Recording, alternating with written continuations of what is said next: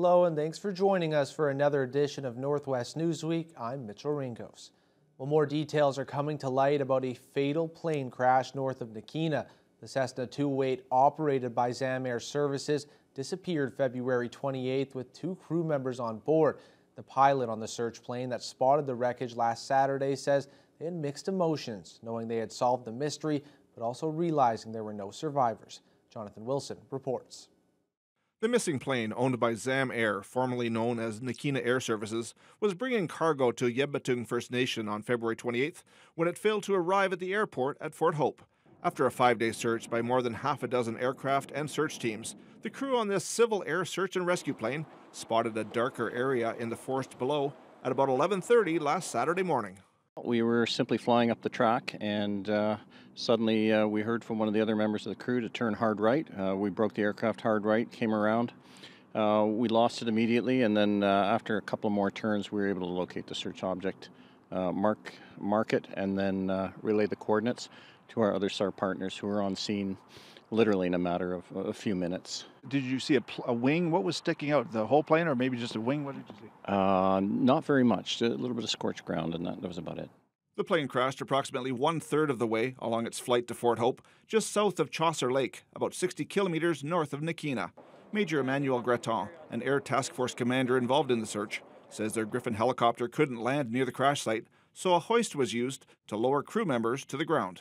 So we inserted the two uh, search and rescue technicians, and unfortunately, when they arrived on scene, uh, both uh, occupants were found uh, without vital signs.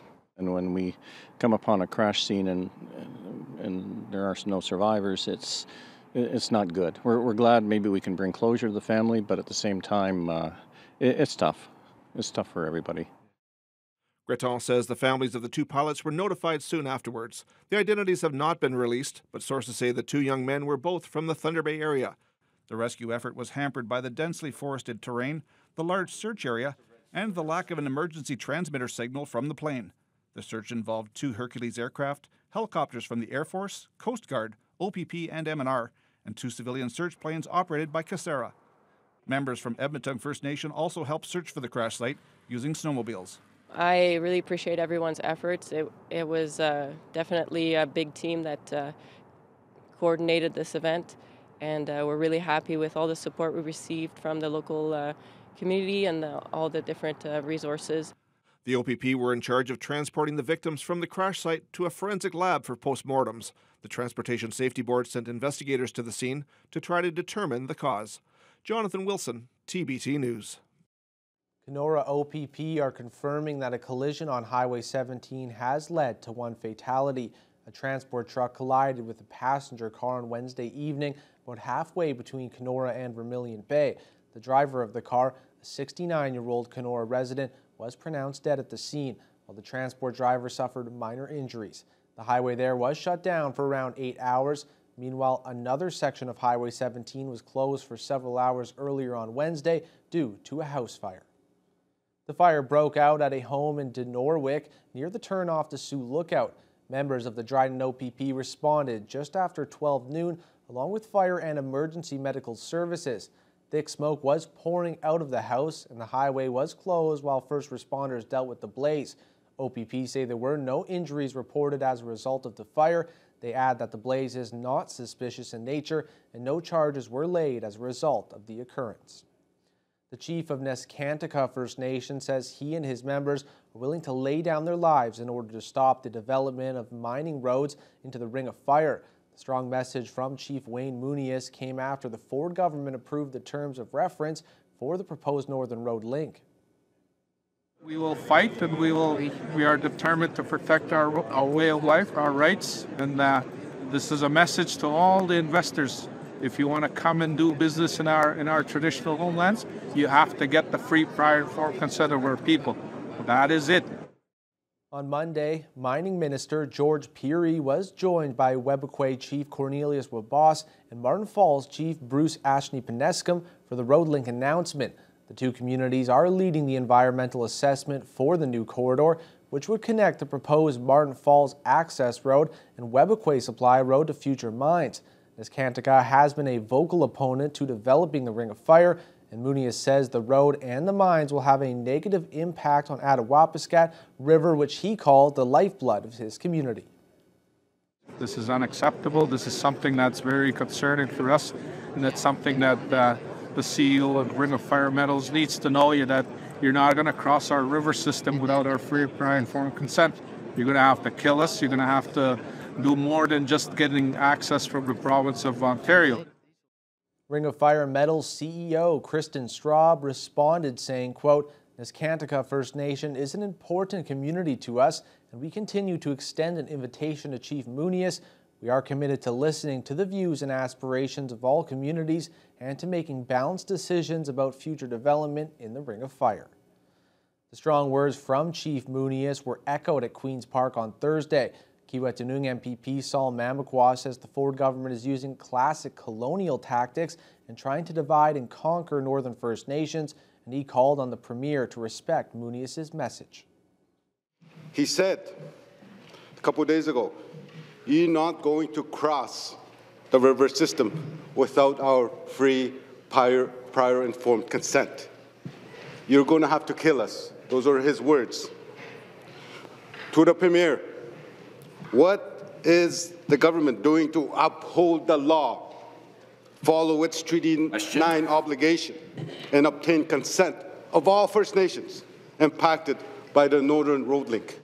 The Corridor to Prosperity is an opportunity for all Indigenous communities in that area to unleash new health social and economic benefits, bring in better forms of energy, stronger broadband, better critical infrastructure, Mr. Speaker. This is a massive northern development opportunity. We'll build consensus with those communities, Mr. Speaker, and we'll look forward to an opportunity to build a critical mineral mine the world class uh, of a world class scale. Thank you. OPP patrol vehicles throughout the Northwest region are now equipped with an automated license plate recognition system and in-car cameras. The new system makes it faster and easier for the provincial police to run license plate information. Carl Langdon spoke with the detachment commander in Nipigon and the technology and files this report. The OPP's new automated license plate recognition system is faster and cheaper than the old technology, making it possible for the police force to install the cameras in all patrol vehicles and to automatically flag license plates linked with criminal or traffic offenses.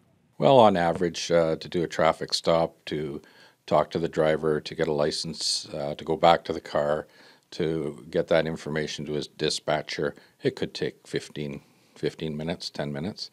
Um, this system here will run multiple plates in fractions of a second. Nipigon Detachment Commander David Moskal explains that the system can scan plates and look them up in an MTO database, alerting officers as they drive if a license plate is associated with one of a number of offenses. So, for example, it will tell us if there's an amber alert attached to that plate. It'll tell us if that plate is stolen.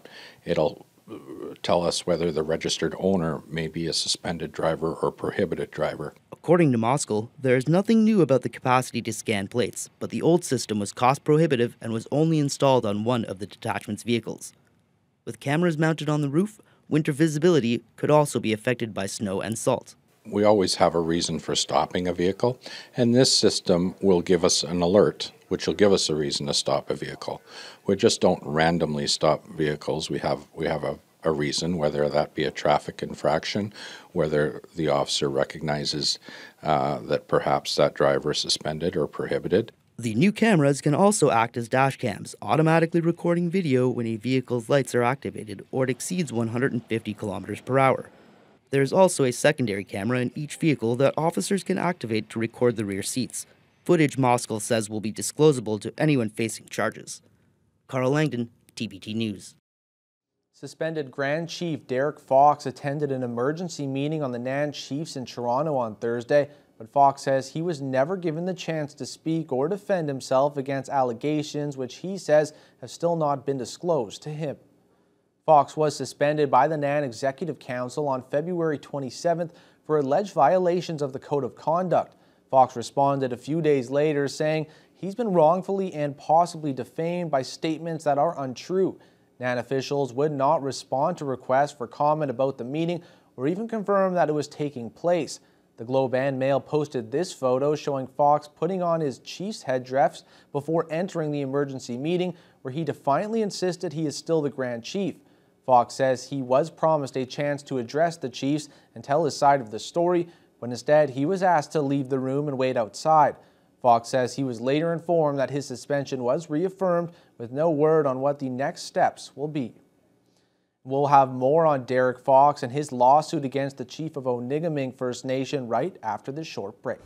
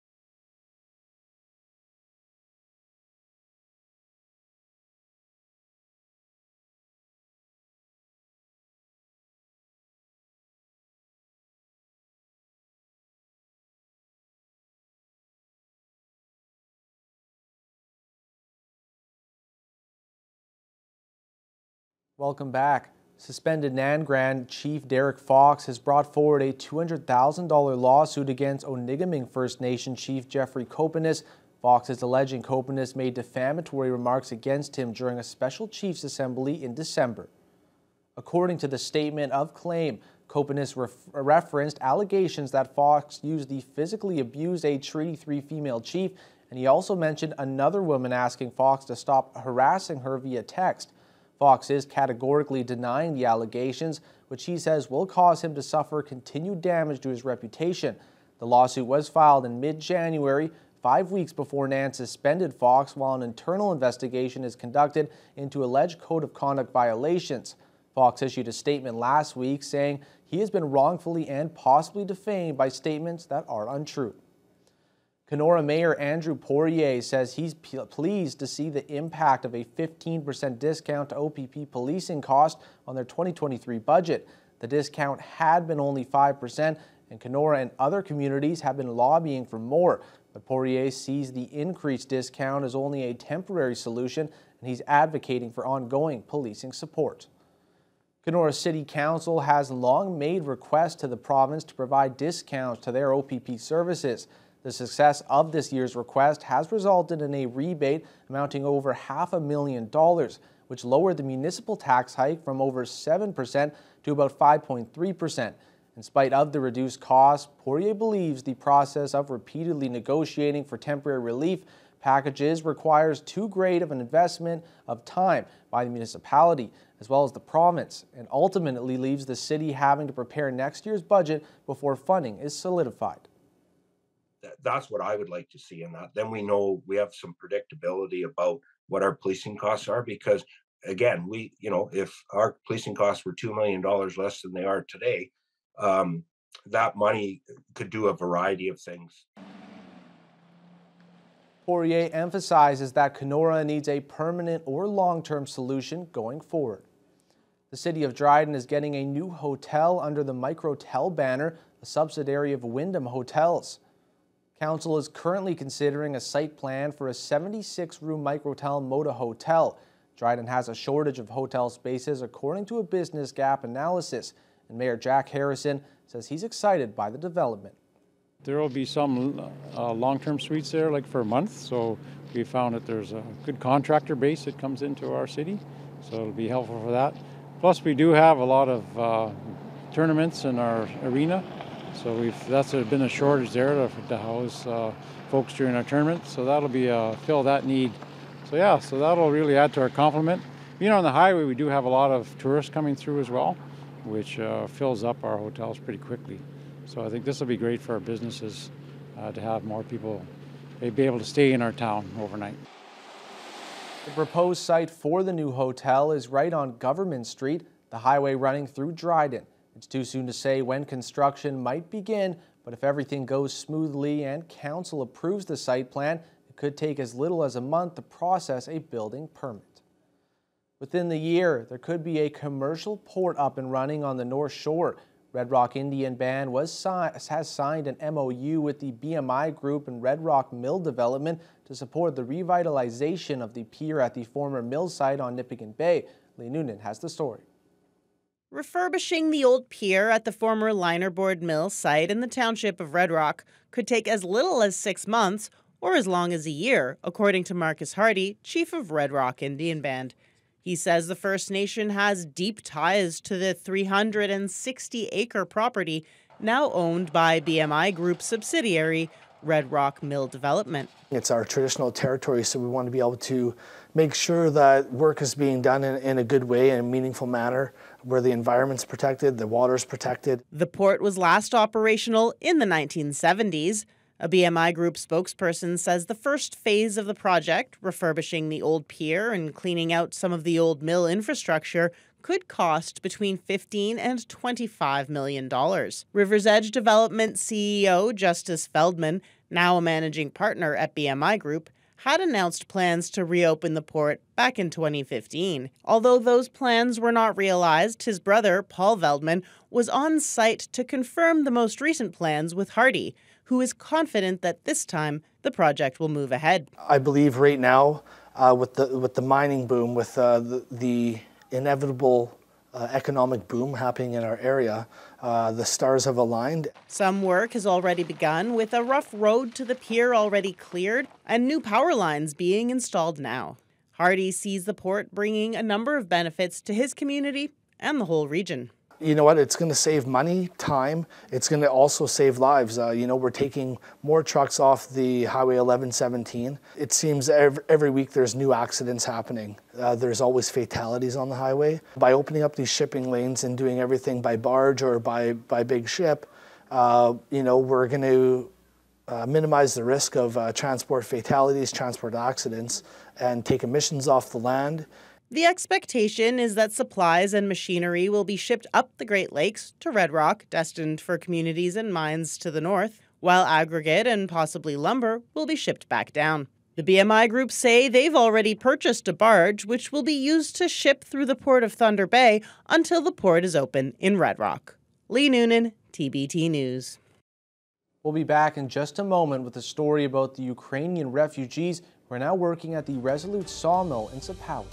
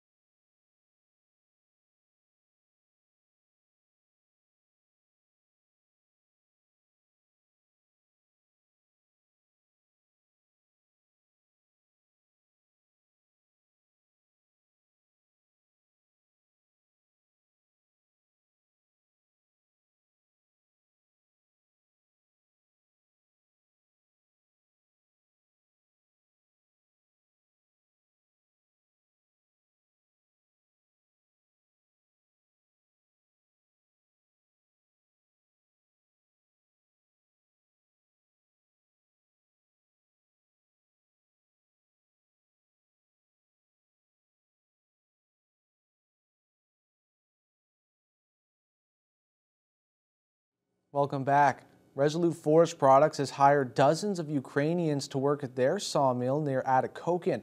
The hirings have not only helped the refugees settle into Canada after fleeing the Russian invasion, but it's allowed the sawmill to thrive as well. Lee Noonan was at the mill in Sapawe this week. She files this report. There are about 30 Ukrainian refugees now working at the Resolute Mill in Sapawe near Atikokan. Mill manager Greg Kerniski says the massive effort to bring the Ukrainian workers to Sapawe was well worth it it's the difference between running and not running for us. Uh, so when you add up the dollars and cents at the end of the day, uh, from a business perspective, it was the right decision. From a moral perspective, it was the right decision. From a community perspective, it was the right decision. Kerniski says the people of Atikokan came together to support the workers and that the whole community stands to benefit. Alexander Bakal and Alexander Vasilenko both say they feel supported by the company and welcome in the community. After work on the weekend, they they give us a lot of support and a lot of different stuff, and I wanna say thank you for them. I want to say thank you for people who living here in Atikokan. Bakal says he's learning a lot and enjoying the work. Vasilenko also says he has fun with his job in quality control. He arrived in August and headed straight to work at the sawmill, although not before stopping in at Fort William First Nation to share in a meal. So I came there and they uh, cooked uh, moose curry. I think it's some kind of soup with moose meat, and they uh, give me a try. Unlike Bakal and Vasilenko, many of their compatriots speak little or no English. HR Superintendent Scott Manford says the language barrier was one of the biggest hurdles to overcome but that despite that, the Ukrainian workers fit in right away. Uh, you expect uh, a lot of hurdles and, and problems with you know different nationality, different lifestyle, different philosophies. And when they showed up here, they, they welcomed us with open arms as we did them. Manford says recruiting Ukrainians has become easier as the workers have been spreading the word and recommending that friends and family come to Atikokan. The pain of being separated from loved ones and seeing the devastation back at home is a problem without a solution, says Bakal. You know, we become more than just team of work. We live together, we learn a new world together. You know, we discover this beautiful country and these people here together all. Four more workers are arriving from the Ukraine within the next couple of months. And while the mill does prioritize hiring locally, they hope to continue filling any vacant positions with more Ukrainian workers. Lee Noonan, TBT News. Nipigon's annual ice climbing event celebrated its 37th consecutive year last weekend Ice Fest is an entirely volunteer run event welcoming members of the public who wanted to try it out. And the weather conditions were nearly perfect for the intermediate level clinic. Carl Langdon has the story. Nipigon's annual Ice Fest was back for another exciting year of mixed climbing activities, with their group of dedicated volunteers offering live demonstrations on several of the region's world class ice faces.